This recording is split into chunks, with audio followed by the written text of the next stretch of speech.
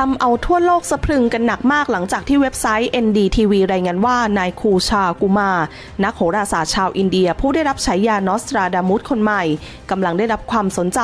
หลังจากทำนายว่าอีกไม่กี่วันข้างหน้า จะเกิดสงครามโลกครั้งที่ 3 โดยถึงขั้นระบุวันที่จะเกิดเลยทีเดียวนายกุมาได้ออกมาเผยว่าโลกใกล้จะต้องเผชิญหน้ากับสงครามโลกครั้งที่ 3 ในไม่ช้านี้ โดยอ้างจากแผนภูมิโหราศาสตร์เวทซึ่งมีพื้นฐานมาจากวัฒนธรรมฮินดูในการทำนายซึ่งจากแผนภูมิการจัดตำแหน่งของดาวเคราะห์และดาวฤกษ์เขายังบอกอย่างมั่นใจด้วยว่า วันอังคารที่ 18 มิถุนายนนี้ เป็นวันที่มีโอกาสเกิดสงครามโลกครั้งที่ 3 ได้มากที่สุด แต่ตัวเลขอาจคลาดเคลื่อนเป็นวันที่ 29 มิถุนายนที่จะถึงนี้ ซึ่งอาจเป็นวันโลกาวินาเช่นกัน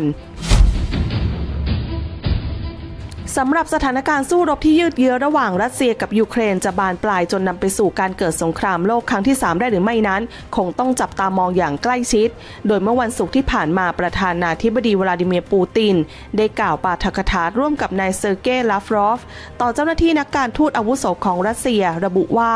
รัสเซียจะหยุดสงครามก็ต่อเมื่อยูเครน ถอนกำลังออกจากสาธารณรัฐโดเนตสก์ สาธารณรัฐลูฮันสก์เคอร์ซอน และซาโปริเซีย ทั้ง 4 ดินแดนที่รัสเซียประกาศผนวกดินแดนในปี 65 ซึ่งในขณะนี้เมืองหลวงของแคว้นเคอร์ซอน และซาโปริเซีย ซึ่งยังคงอยู่ในมือของยูเครน จึงหมายความว่าปูตินกำลังเรียกร้องให้ยูเครน ยอมยกดินแดนบางส่วนภายใต้การควบคุม เพื่อเป็นเงื่อนไขเบื้องต้นสำหรับการเจรจา อีกทั้งระบุว่ายูเครนต้องยกเลิกแผนการเข้าร่วมนาโตอย่างเป็นทางการ รัสเซียจึงจะหยุดยิง และเริ่มเจรจาทันที พร้อมทิ้งท้ายว่ายูเครนจะต้องมีสถานะเป็นกลางไม่ฝักใฝ่ฝ่ายใด และปราศจากอาวุธนิวเคลียร์ ลดกำลังทหาร และเลิกอุดมการณ์นาซี ด้านยูเครนยืนยันว่าจะเจรจาสันติภาพกับรัสเซีย ก็ต่อเมื่อถอนกำลังออกจากประเทศเท่านั้น โดยประธานาธิบดีวโลดิมีร์เซเลนสกี้บอกกับสถานีโทรทัศน์สกายทีจี24ของอิตาลี นอกรอบการประชุมสุดยอด G7 ว่า ข้อความที่ปูตินส่งมาเป็นคำสั่งเผด็จการ แบบเดียวกับที่ฮิตเลอร์ทำและบอกด้วยว่าลัทธินาซีมาถึงแล้ว ส่วนกระทรวงต่างประเทศของยูเครนกล่าวว่า ข้อเรียกร้องนั้นไร้เหตุผล และแสดงให้เห็นว่ารัสเซียต้องการยึดครองยูเครน และทำลายล้างชาวยูเครน และอุณหภูมิความตึงเครียดก็ทวีคูณเพิ่มขึ้นไปอีก เมื่อปูตินเดินทางเยือนเกาหลีเหนือ โดยผู้นำคิมบอกกับปูตินว่า เกาหลีเหนือสนับสนุนปฏิบัติการทางทหารรัสเซียในยูเครนอย่างเต็มที่ เพราะรัสเซียทำเพื่อปกป้องอธิปไตย เพื่อเสถียรภาพ และความเป็นปึกแผ่นของดินแดนรัสเซีย ความสัมพันธ์ของรัสเซียและเกาหลีเหนือขณะนี้ ได้ยกระดับถึงขั้นจุดสูงสุดรอบใหม่ และการที่ปูตินเดินทางเยือนเป็นอย่างครั้งแรกในรอบ 24 ปี ก็ยิ่งเป็นการกระชับความสัมพันธ์ ให้แนบแน่นแข็งแกร่งยิ่งขึ้น ปูตินเดินทางถึงสนามบินเปียงยางเมื่อช่วงเช้ามืด โดยมีผู้นำคิมเดินทางมารับถึงบันได